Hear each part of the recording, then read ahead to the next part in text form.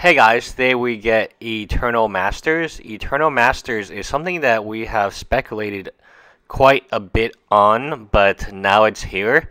I honestly did not believe it. I felt this announcement was pretty crazy.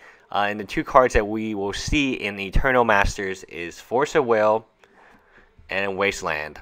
Um, both of these cards are obviously extremely valuable. Wasteland, we just saw a reprint in the expeditions. So to get another one is incredible, and Wasteland is rare.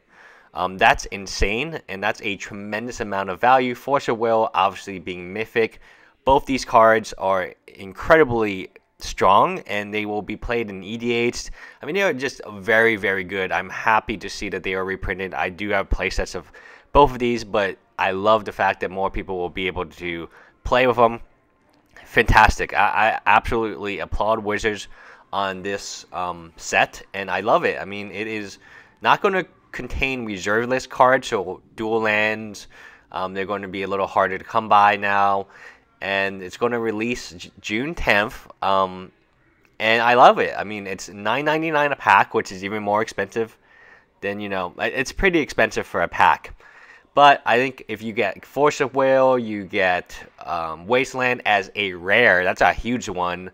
Uh, definitely well worth it because picking a Wasteland is as a rare is incredible because you're pretty much guaranteed one a box. Really good set. I love it, and I think it's going to do very well. I'm very, very um, glad they are supporting this format.